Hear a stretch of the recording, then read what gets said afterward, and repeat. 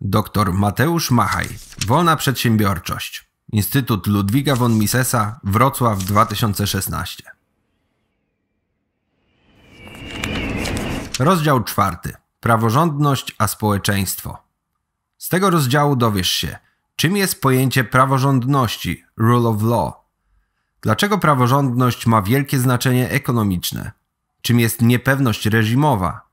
Co oznacza dla gospodarki stabilność prawa? Jaka jest rola praw własności w kontekście stabilności prawnej i gospodarczej? Cechy rządów prawa. W języku angielskim istnieje termin rule of law, który tłumaczy się jako praworządność lub rządy prawa. Terminu tego używa się, gdy w danym kraju istnieje ład opierający się na pewnych uniwersalnych regułach prawnych. Co mamy na myśli, gdy mówimy o takich systemowych regułach? Chodzi głównie o to, by zasady działania władzy i aparatu państwa nie były arbitralne, czyli o to, by władca nie mógł ich dowolnie zmieniać i ustalać wedle własnej woli. Innymi słowy, to taki porządek prawny, w którym ci, którzy tworzą przepisy, Sejm, Senat itd., tak szanują prawa jednostek. Określenie rządy prawa może być trochę mylące, ponieważ każdym społeczeństwem rządzą jakieś reguły prawne, choćby niezwykle okrutne. Nawet w najbardziej dyktatorskim i zniewolonym społeczeństwie dominują z góry ustalone zasady postępowania. Angielski termin rule of law lepiej chyba byłoby tłumaczyć jako duch prawa, ponieważ najczęściej zawiera w sobie coś więcej niż tylko znaczenie wszystko ma być zapisane w ustawie. W nazistowskich Niemczech również obowiązywały procedury i prawa stanowione przez dyktaturę.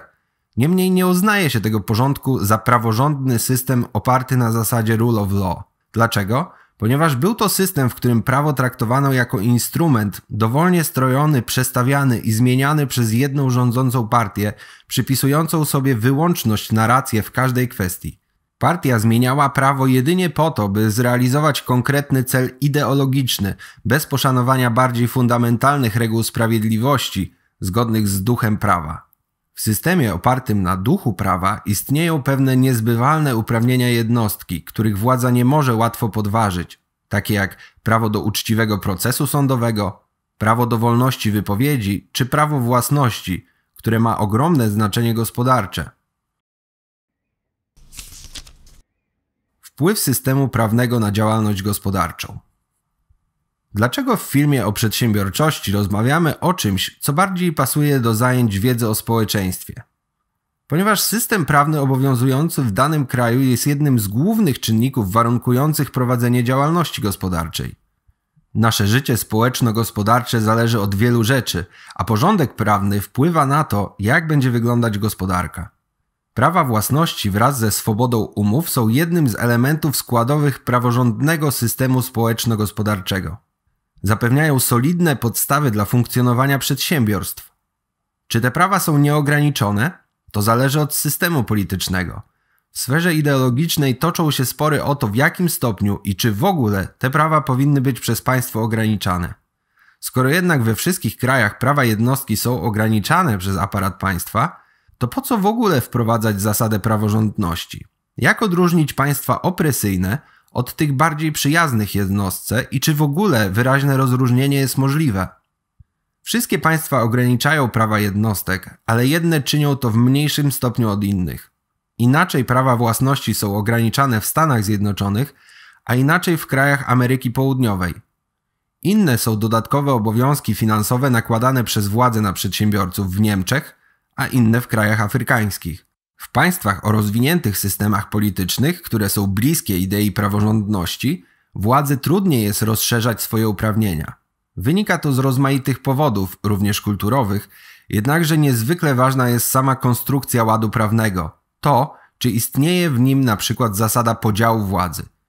Dzięki tej zasadzie partii rządzącej trudniej jest skonfiskować prywatną własność niż w państwach o rządach dyktatorskich. Musi bowiem liczyć się, przynajmniej w teorii, gdyż w praktyce może być różnie, z innymi siłami władzy i nacisku, z opozycją polityczną, władzą sądowniczą, konstytucją, potencjalną presją ze strony mediów, z organizacjami pozarządowymi. Nie oznacza to oczywiście, że taka konfiskata nie jest w ogóle możliwa. Oznacza tylko tyle, że trudniej ją przeprowadzić niż w systemie, w którym dana partia ma pełny monopol na władzę i nie jest w ogóle ograniczona systemem prawnym. I choć często system ten nie działa idealnie, to jednak stanowi pewną przeszkodę, przynajmniej minimalnie hamuje swobodę działań władzy. Te sprawy mają ogromne znaczenie dla stanu gospodarki i przedsiębiorczości. W ładzie politycznym bliskim ideałowi praworządności istnieją znane społeczeństwu i przewidywalne reguły gry. Znaczenie stabilnych reguł prawnych. Dlaczego stabilność tych reguł ma tak duże znaczenie? Ponieważ pozwala na lepsze długookresowe planowanie. Widać to szczególnie wyraźnie w krajach rozwijających się, które bardzo starają się o wprowadzenie stabilnego systemu prawnego, czyli takiego, który dawałby zagranicznym inwestorom względnie dużą pewność co do politycznej przyszłości. Wyobraźmy sobie, że jakiś inwestor zastanawia się nad otwarciem fabryki w biednym kraju Ameryki Południowej. Jeśli nie może być pewien bezpieczeństwa tej inwestycji, to może z niej zrezygnować. Na przykład, gdy istnieje tam groźba wybuchu powstania albo dojścia do władzy nieprzyjaznego dyktatora ignorującego prawo międzynarodowe. W takiej sytuacji rozwój gospodarczy kraju będzie dużo wolniejszy od potencjalnie osiągalnego. Wpływ niepewności reżimowej na inwestycje. W teorii prawa gospodarczego pojawia się termin niepewności reżimowej. Określa się nim nieprzewidywalność przyszłych zmian w prawie, które dotykają przedsiębiorców planujących inwestycje. Przewidywalność zmian ma szczególnie duże znaczenie w przypadku inwestycji długoterminowych. Jeśli nie jesteśmy pewni tego, co władza polityczna zrobi za parę miesięcy lub lat, to będziemy mniej skłonni do inwestowania w takim kraju. Zjawisko niepewności reżimowej dobrze tłumaczy, dlaczego wielu ludzi decyduje się inwestować swoje pieniądze w krajach, gdzie opodatkowanie jest nominalnie wyższe. Często bowiem warto pozostawić pieniądze w państwie, w którym reguły praworządności są przestrzegane mimo wyższych podatków.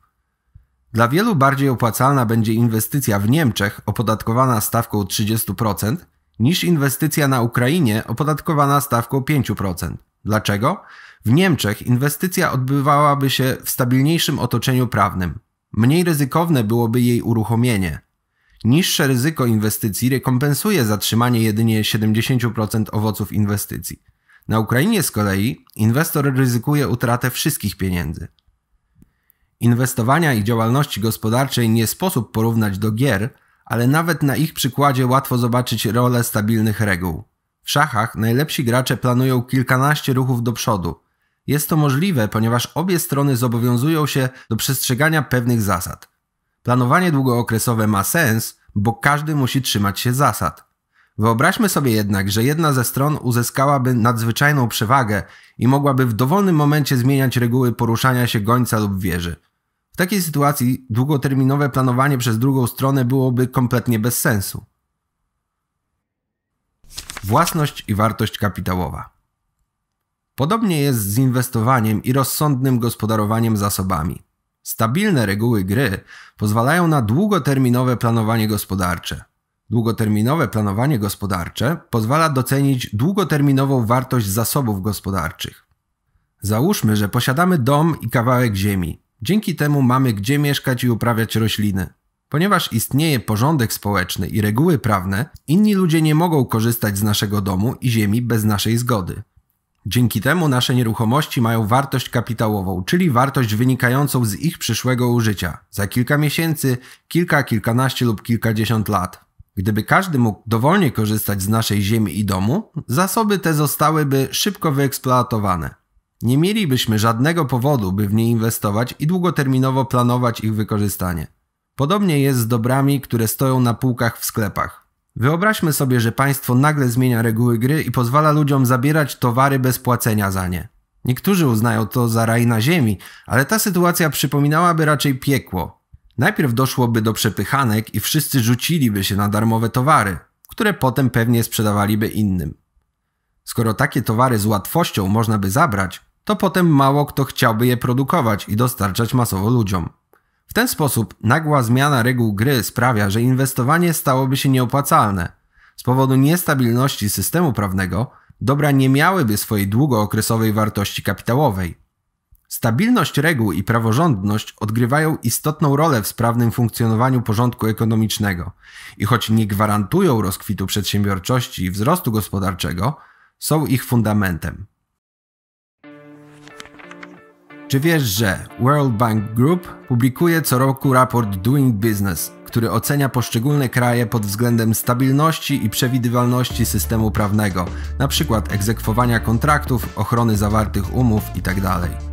Najbardziej rozwinięte kraje zajmują w nim najwyższe miejsca.